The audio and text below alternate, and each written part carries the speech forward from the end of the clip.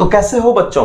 I hope कि अच्छे होंगे। मैं चंदन सर, और ये आपका प्यारा सा, अपना सा ब्यूटीफुल सा अच्छा सा YouTube channel Chandan physics centre बच्चों, आज के इस लेक्चर में हम लोग अगले प्रॉपर्टी से बात करेंगे, जो हमने पिछले लेक्चर में भी हम लोगों ने प्रॉपर्टीज़ पे ही चर्चा किया था, और आज उस प्रॉपर्टीज़ से आगे प्रॉपर्टीज़ पे ही चर्चा करेंगे, लेकिन पिछले लेक्चर के प्रॉपर्टीज़ से आगे वाले लेक्चर पे प्रॉपर्टीज़ पे हम लोग चर्चा करेंगे। तो आइए स्टार्ट करते हैं आज के इस प्रॉपर्टीज़ के टॉपिक को। ठीक है? जो हम लोगों का सबसे लास्ट लेक्चर है। तो आइए देखते हैं। चलिए, आ जाइए।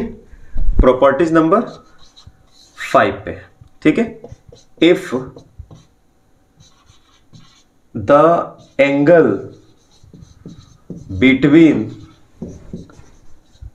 two vector is zero degree then the resultant of cross product will be क्या होगा?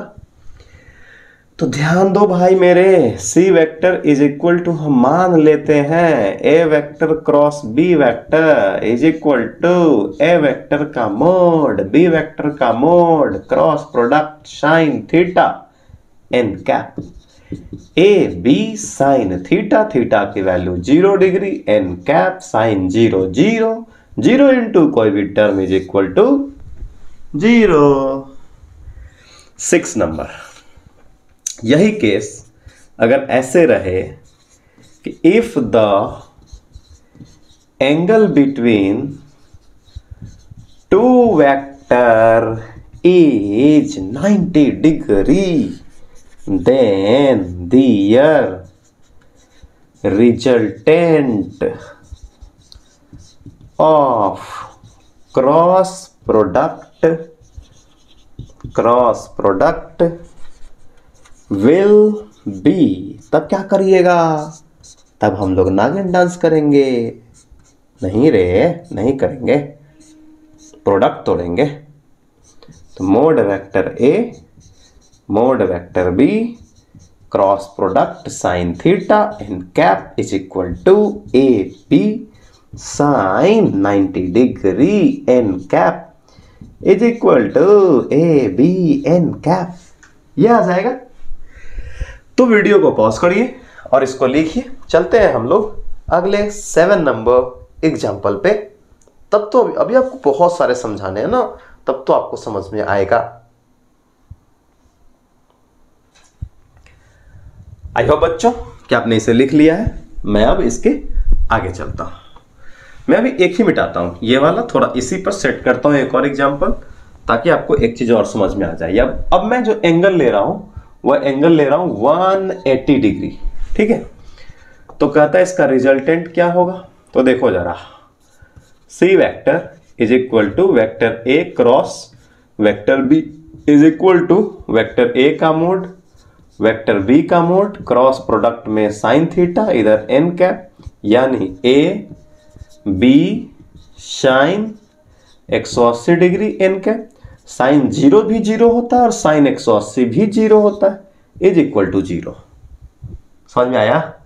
तो अब वीडियो को पॉज करिए, फिर लिखिए, फिर मैं इसके आगे बढ़ता हूँ। आई होप बच्चों कि आपने वीडियो को पॉज करके इसे लिख लिया होगा? तो अब आपका ये जन्मसिद्ध अधिकार है कि इसको मिटा दिया जाए और अगले एग्ज़ाम्पल पे बढ़ा जाए ना? तो अब आ जाइए। नेक्स्ट जो हम लोगों का एट नंबर एग्ज़ाम्पल है एट एक नहीं, रे एट मीन्स आठ। तो एट नंबर जो अब प्रॉपर्टीज़ है एग्ज़ाम्पल नहीं प्रॉपर्टीज़ है, वो कहता है कि derivative of cross product cross product का डेरिवेटिव क्या होगा? ठीक है? अब आ जाओ। तो ऐसे कर दो डेरिवेटिव के लिए। A vector cross b vector by d t अच्छा मैंने आपको बेसिक मैथमेटिक्स के लेक्चर में डिफरेंशिएशन पढ़ाया था और मैं आपको लिखाया था कि u इंटू भी का अगर मल्टीप्लीकेशन करना हो डिफरेंशिएशन में तो उसका फॉर्मूला होता है कि u को रख लीजिए भी का डिफरेंशिएशन करिए प्लस भी को रख लीजिए और u का डिफरेंशिएशन करिए। मतलब u को रखकर v का डिफरेंशिएशन फिर प्लस साइन फिर भी को रख करके यू का डिफरेंशिएशन ये मैं आपको बेसिक मैथमेटिक्स जो आपको पढ़ाया तो वहाँ पे मैं आपको डिफरेंशिएशन का रूल बताया था। तो वही चीज़ यहाँ पे क्या करो, इसमें से ए वेक्टर को रख लो और बी वेक्टर को डिफरेंशिएट कर दो।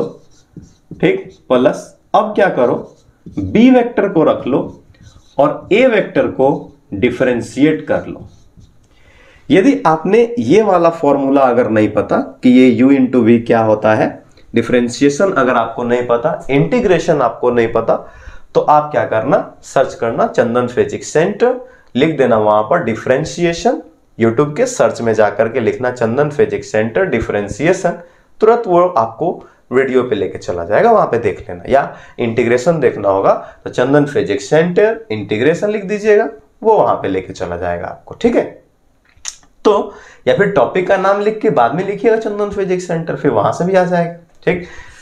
तो आपने आपने क्या करना है? ये लिखना है। अब चलिए प्रॉपर्टीज़ नंबर नाइन पर। मैं कुछ क्या करता हूँ? अच्छा पहले आपको डेरिवेटिव ऑफ़ क्रॉस प्रोडक्ट तो आपको समझ में आ ही गया होगा। नहीं, अब मैं इस पर थोड़ा सा एग्ज़ाम्पल ले लेता हूँ। एग्ज़ाम्पल ऑफ़ क्रॉस प्रोडक्ट क्या है इसका एग्ज़ाम्पल तो जब हम लोग रोटेशन में चलेंगे तो वहाँ पढ़ेंगे torque vector is equal to r vector cross f vector ये पढ़ेंगे।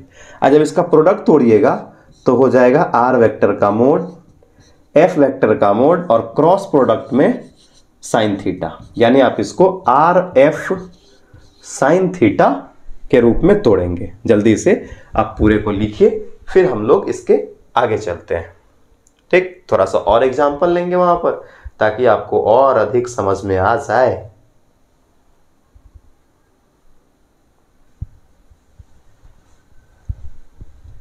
तो आई होप बच्चों, कि आपको यह समझ में आ गया होगा। अब अगर मान लीजिए कि इसी में अगर आपको यह निकालने के लिए कह दिया जाता कि यदि आपने क्या करना है एरिया ऑफ़ ट्रायंगल निकालना है। क्या निकालना है? आ, ये कितना नंबर था? शायद नाइन नंबर था टेन नंबर प्रॉपर्टीज़ होगा। तो अब लिख लो एरिया ऑफ़ ट्रायंगल आप एरिया ऑफ़ ट्रायंगल का फॉर्मूला तो जानते हैं। क्या होता है? One by two into l into b लेकिन फिजिक्स फिजिक्स में क्या करना? वन बाई टू इंटू इधर कर देना cross product a vector cross b vector हाँ इसका फॉर्मूला बन गया। जब अगर क्रॉस प्रोडक्ट के रूप में एरिया ऑफ़ ट्रायंगल निकालना हो तो इस वाले फॉर्मूला से निकालिएगा। पहले इसका प्रोडक्ट तोड़ लीजिएगा, फिर वन बाई टू से मल्टीप्लाई कर लीजिएगा। आंसर आ जाएगा। ठीक है? एलेवन नंबर पे आ जाइए। Area of parallelogram area of parallelogram क्या होता है? तो आप लोग जानते हैं, सीधा हम लोग एल इन टू बी करते हैं, ठीक है? तो इसी को आप वेक्टर के रूप में क्या करोगे? Vector a cross vector b करोगे, आपको इसका वैल्यू निकल के आ जाएगा। जल्दी से आप इसको लिखिए। एक और इसका कुछ रूल है, वो मुझे आपको बताना है। एक और प्रॉपर्टीज़ है, जो मुझे आपको बताना है। जल्दी से पहले आप इसको नोट करिए, इसको लिखिए, फिर हम लोग इसके आगे बात करते हैं।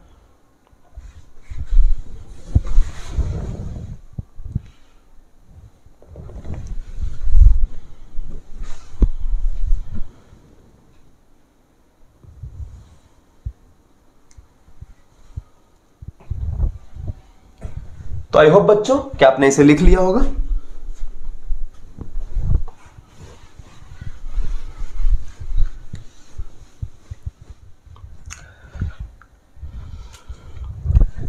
तो बच्चों, अब जो मेरे पास 13 नंबर प्रॉपर्टीज़ और मोस्ट इंपॉर्टेंट ऑफ़ ये प्रॉपर्टीज़ है, वो है मैट्रिक्स मेथड अब आ जाइए, इस मैट्रिक्स मेथड का हम चर्चा करते हैं। मान लीजिए कि आपको a vector is equal to दे दिया गया a x vector i cap plus a y vector j cap plus a z vector k cap ठीक है? और b vector is equal to दे दिया गया b y vector j cap b x पहले x axis होगा ना पहले। B x vector i cap plus b y vector j cap plus b z vector k cap तो आपने क्या करना है, आप जब इसका रिजल्टेंट निकालोगे, ठीक है, जैसे आप इसका रिजल्टेंट निकालने के लिए c vector is equal to vector a cross vector b करोगे तो आपने क्या करना है, यहाँ पे लिख लेना है, ये ये वेक्टर ए और ये लिख लेना है वेक्टर बी ठीक। देखो, आप पहले आई कैप जे कैप और के कैप को अलग कर लेना, ठीक है। आई कैप जे कैप और के कैप को अलग कर लेना। अब देखो वेक्टर ए के सामने वेक्टर ए के सामने वेक्टर ए की वैल्यू और वेक्टर बी के सामने वेक्टर बी की वैल्यू देखो अब यहाँ पे ए वेक्टर का वैल्यू आई कैप के लिए क्या है? ए वेक्टर का वैल्यू आई कैप के लिए है a x vector j cap के लिए क्या है? तो ए वाई वेक्टर अरे वाह के कैप के लिए क्या है? ए जेड वेक्टर फिर से बी वेक्टर के लिए क्या है? तो बी वेक्टर के लिए आई कैप के अकॉर्डिंग आई कैप के अकॉर्डिंग बी वेक्टर का वैल्यू बी एक्स वैक्टर फिर से देखो जे कैप के लिए बी वेक्टर का value b y vector k cap के लिए बी वेक्टर का वैल्यू बी जेड वैक्टर अब समझो, इस ए वेक्टर जो ऊपर जो वेक्टर होगा, उसकी वैल्यू प्लस में लेना, इसकी वैल्यू माइनस में लेना. ये ट्रिक होता है. ठीक? वैसे ट्वेल्व में जाओगे तो मैथमेटिक्स में मैट्रिक्स बड़े डेप्थ में पढ़ना है, वहाँ पे सर समझाएँगे। अभी मैं आपको बस ट्रिक पे लेके चल रहा हूँ। तो अब जब इसका a vector cross b vector करोगे तो सबसे पहले आपको क्या करना है? ये जो आई कैप है, इसको निकाल लेना पहले आई कैप के लिए काम करिए। तो जब आई कैप के लिए काम करते हैं तो उसमें ट्रिक है कि आई कैप के नीचे सभी को कैंसिल मारो जैसे आई कैप के नीचे ये पूरा को कैंसिल और आई कैप के सामने कैंसिल जिसके लिए तुम, ठीक है वैल्यू लिखने जा रहे हो, उसके नीचे और उसके सामने का लाइन कैंसिल हा हा आई कैप के नीचे पूरा कैंसिल आई कैप के सामने पूरा कैंसिल तो बच जाएगा a y a z b y b z ठीक है तो ये बच जाएगा पहला, ये दूसरा, ये तीसरा, ये चौथा। ये तब की बातें हैं जब आई कैप की वैल्यू लिख रहे हैं तो आई कैप के नीचे कैंसिल सामने कैंसिल तो रे बच, ये जाना है चार गो। तब इसका क्रॉस गुना करो। एक का चार से और दो का तीन से। क्रॉस गुना ऐसे और ऐसे। ये इसका गुना इधर और इसका गुना इधर। तो एक का तीन से करो तो क्या हो जाएगा? ए वाई वेक्टर और गुना बीजेड वेक्टर तो यहाँ पर लिख देना। ए वाई वेक्टर गुना बीजेड वैक्टर अब यहाँ देख, भाई मेरे, ये बी वेक्टर के साथ का वैल्यू किसके लिए है? माइनस के लिए। कैसे? ये ऐसा क्यों कर रहे हैं? तो इसका क्रॉस करने के बाद साइन आपको माइनस लेना है। ठीक है? अब फिर, अब देखो, दो का तीन के साथ। A z vector b y vector a z vector b y vector ये आ गया। ये आई कैप के लिए हो गया। अब मैं इसको मिटाता हूँ। इसका आप काम यहाँ पे नहीं है। अब जरा आ जाओ। अब किसमें देखना है तुमको? अब जे कैप की वैल्यू निकालो। लेकिन ध्यान रखना आई कैप की वैल्यू को प्लस में जे कैप का वैल्यू माइनस में और के कैप का वैल्यू प्लस में लेते हैं। ये ट्रिक मैं आपको सिखा रहा हूँ इसलिए। तो आई कैप का वैल्यू हम प्लस में ले लिए। जे कैप का वैल्यू यहाँ पे हमको किसमें लेना है? जे कैप का आएगा साइन माइनस में लेना है तो माइनस जे कैप फिर वही रूल लगाओ। जिसका तुम अभी जे कैप निकाल रहे हो तो जे कैप के नीचे कैंसिल और जे कैप के सामने वाला पूरा कैंसिल तो बच जाएगा एक, दो, तीन, चार। नहीं, एक, दो, तीन, चार। एक का गुना चार से और दो का गुना तीन से, तिरछा गुना। नहीं तो पहले ये है तो इसका गुना करो इससे तो क्या हो जाएगा?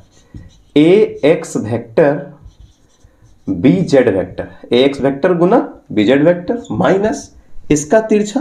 तो ए जेड वेक्टर क्रॉस ये वाला बी एक्स वैक्टर प्लस, ठीक है, ये वाला के कैप हम इधर लिखते हैं यहाँ से आगे, प्लस में के कैप के कैप के लिए भागोगे तो इसके नीचे कैंसल इसके सामने कैंसल तब तो बच जाएगा एक, दो, तीन, चार। एक का गुना चार से तो क्या होगा?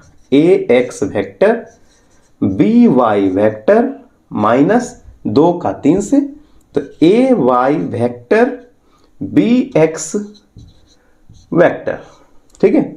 मैं इस पर आपको न्यूमेरिकल कराऊँगा, पूरा कॉन्सेप्ट्स क्लियर हो जाएगा। तो ये आपका एक फॉर्मूला आ गया, ठीक? जिसको रटा नहीं जाएगा, समझा जाएगा, ठीक है? रटोगे तो बैल हो जाओगे, ठीक है? इस पर अब हम चलिए डिजिटल राइटिंग पैड पे, फिर एक न्यूमेरिकल करेंगे, फिर इसके आगे हम आपको वेक्टर का प्रोजेक्शन निकालना सिखाएँगे, ठीक है? जल्दी पहले आप इसको नोट करिए, फिर हम लोग इसके आगे बात करते हैं।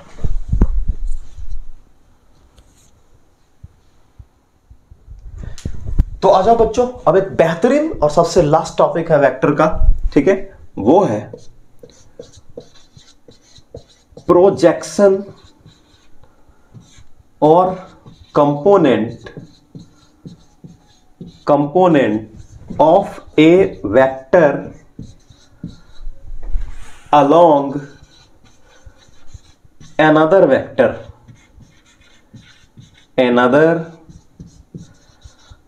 vector चलिए, जरा समझिए। मैं यहाँ पे क्या करता हूँ? सबसे पहले मैं यहाँ पे एक वेक्टर ले लेता हूँ और ये वेक्टर है वेक्टर ए और दूसरा वेक्टर मैं ले लेता हूँ वेक्टर बी दोनों के बीच का एंगल थीटा यदि हम इस पे मान लेते हैं कि a vector dot b vector है तो इसका प्रोडक्ट तोड़िएगा तो डॉट प्रोडक्ट में कॉस थीटा और इधर मैं अगर लिख भी देता हूँ कि b vector dot a vector फिर भी इसकी value a b cos theta ही होगी। ठीक है? हम यहाँ पे बात करते हैं कि मान लीजिए component of b vector along a vector तो बी वेक्टर का कंपोनेंट मतलब आपने क्या करना है? ठीक है? आपने ये करना है कि बी वेक्टर का कंपोनेंट मतलब आपको ऐसे लिखना है b vector dot a vector यानी बी वेक्टर का कंपोनेंट तो बी वेक्टर में कॉस थीटा ठीक है? तो बी वेक्टर का मोड ए वेक्टर का मोड और डॉट प्रोडक्ट में कॉस थीटा जिसको हम, या तो हम इसको बी ए कॉस थीटा लिखें या हम इसको ए बी कॉस थीटा लिख दें बात बराबर है, ठीक है? अब जरा समझिए, मैं इसी में अगर ऐसे लिख दूँ कि a vector dot b vector बराबर ए बी कॉस थीटा और मैं आपको कहूँ कि यहाँ से तुम कॉस थीटा का वैल्यू निकाल लो तो तुम क्या कहोगे कि, sir a vector dot b vector ऊपर चला जाएगा ए बी नीचे। हाँ बात सही है। A vector dot b vector अब बाय ए बी ये हो गया कॉस थीटा की वैल्यू ठीक है? लेकिन अगर मैं तुमसे पूछ दूँ कि इसके कंडीशन में मुझे निकालना है कंपोनेंट ऑफ़ बी वेक्टर तब तुम क्या करोगे? लिखोगे बी वेक्टर का कंपोनेंट क्या लिखोगे? बी कॉस थीटा तो इज़ इक्वल टू बी ले लो। कॉस थीटा की वैल्यू यहाँ पे लगाओ। तो कॉस थीटा की वैल्यू यहाँ पे क्या है? तो यहाँ पे लिख दो a vector dot b vector अब बाई में ये ए बी हम डायरेक्ट यहाँ से वैल्यू उठा के डाल दिए। अब यहाँ पर से ये बी से ये बी कट जाएगा, ठीक है? अब यहाँ ऐसा नहीं करना कि सर ये बी इस बी के साथ स्क्वायर हो जाएगा। नहीं, ये वेक्टर में है, ये वेक्टर बी है, ये सिर्फ़ मैग्नीट्यूड है। तो मैग्नीट्यूड से मैग्नीट्यूड कटेगा मैग्नीट्यूड से वेक्टर कभी भी। नहीं कटेगा। तो अब जरा देखो तो हम इसको ऐसे लिख सकते हैं कि a vector dot b vector by a हम इसको चाहें तो ऐसे भी लिख सकते हैं। A vector by a dot में बी वेक्टर अरे, किसी वेक्टर को उसके मैग्नीट्यूड से अगर डिवाइड करें तो उसी को यूनिट वेक्टर कहते हैं। यूनिट वेक्टर किसे कहते हैं? तो when a vector divided by its magnitude is called unit vector. तो a vector by mod a तो ये यूनिट किसका देगा? तो ए वेक्टर का ही तो a cap dot b vector हा आ गया एक रिजल्टेंट ठीक है? तो ये हमको हमको अब यहाँ पर ये क्या दे रहा है? तो it it gives it gives only direction ठीक है? ये सिर्फ़ क्या दे रहा है हमको? डायरेक्शन दे रहा है। एक ऐप मुझे क्या दे रहा है? डायरेक्शन दे रहा है। पहले आप इसको नोट करिए, फिर मैं इसके आगे बात करता हूँ।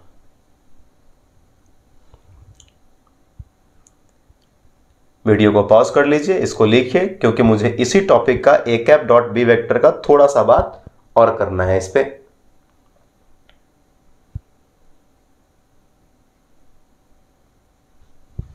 आई होप बच्चों कि आपने इसे लिख लिया होगा?